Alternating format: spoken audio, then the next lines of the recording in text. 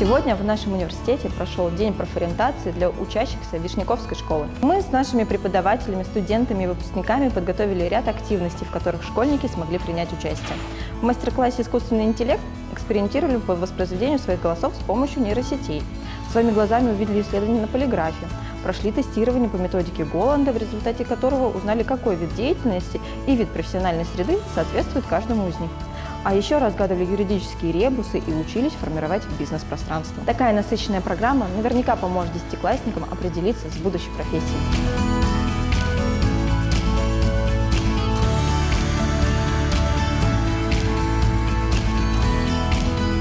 Ребята, десятиклассники были очень активными, внимательно нас слушали. Мы им рассказывали про то, как у нас проходят занятия в университете, про преподавателей, про то, как здесь классно учиться.